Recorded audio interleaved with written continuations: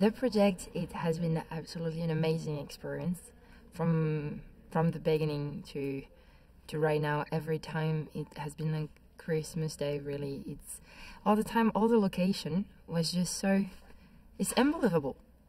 Like i mean i never never have any experiences like this so it's uh, it's great. I have amazing time Chloe, it's a it's a French girl which um, which bred and born in, in France, but um, decided to in my story to went to London uh, to be a veterinarian, and um, that's why she speaks English. Uh, but the thing is, um, in 1940, when the war started, she received a letter from her mom saying that the Germans arriving to the village, and she decided to stop everything and going back to help her family.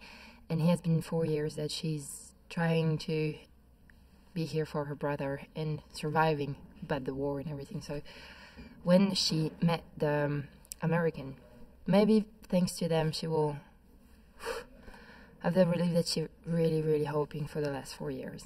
Since i'm a baby i, I grew up with J.J. Abrams film. So be part of it. It's and have the chance to meet him is also very yeah, he, he's a lovely, he's a very lovely man, and it's uh, it's amazing. Yeah, it's like it's like you imagine your big like figure and like uh, producer or director have you've been growing up with, and finally he's talking to you and saying, "Oh, it's good, you're doing good job," and you're like, "Oh, thank you," and you're like, "Oh my gosh."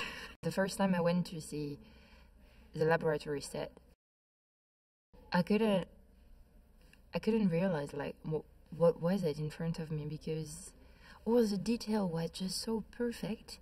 Everything was just so absolutely amazing. You've got already that which is wow. Well, I'm gonna try to be the same level because it's just so yeah, it's make job so much easy, that's for sure.